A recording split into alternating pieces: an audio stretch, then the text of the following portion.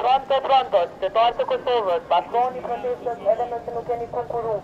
Një grup i qytetarëve dhe përfaqësuesve të shoqërisë civile janë mbledhur në sheshin Zahir Pajaziti në Prishtinë në një protestë pas publikimit të përgjimeve që përfshinë zyrtarë të lartë të PDK-së duke bërë lista punësimesh në institucionet shtetërore. Me parullat Lumez a ki kunkuru, Në burg hini pa kunkuru, Pronto, etj, protestuesit u kanë bërë thirrje edhe kalimtarëve të tjerë që të bashkohen në protestë. Protestuesit kanë marshuar deri te sheshi Skënderbeu para ndërtesës së qeverisë, ku kanë lëshuar në altoparlant incizime pa cenzurë të bisedave të përgjuara, në të cilat protagonistët e këtyre bisedave në krye me shefin e grupit parlamentar të PDK-së Adem Grabovci, ofendojnë dhe fyejnë persona të tretë.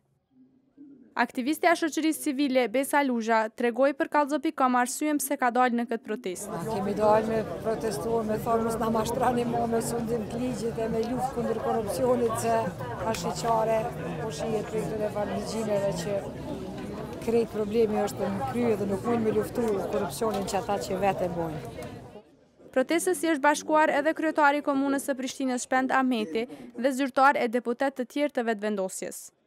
Njëri ndër organizatorët e protestës Imer Mushkolaj tha se do të ketë edhe protesta tjera, ndërsa u bëri thirrje qytetarëve të bashkohen në protestë pa marrë parasysh nëse i përkasin ndonjë partie politike.